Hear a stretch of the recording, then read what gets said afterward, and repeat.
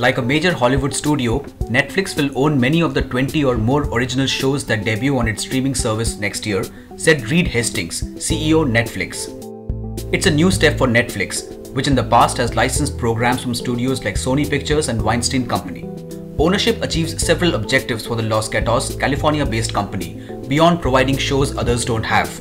It eliminates the sometimes territory by territory tracking of streaming rights and lets Netflix unlock revenue from selling DVDs or license rights to other services.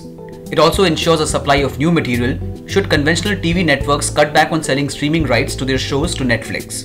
Netflix is taking a page from the playbook of HBO, Time Warner Inc.'s premium cable network. Though both license movies from studios, HBO owns the global rights to most of its biggest hit series, including The Sopranos, Six Feet Under, and Game of Thrones. The test is whether Netflix, competing with more seasoned producers at HBO, FX, AMC, and Showtime, can do it as well, according to Michael Pachter, an analyst with Wedbush Morgan Securities in Los Angeles. Shares of Netflix soared 26% last week as the company reported signing 4.9 million new subscribers in the first quarter and credited exclusive shows such as Orange is the New Black.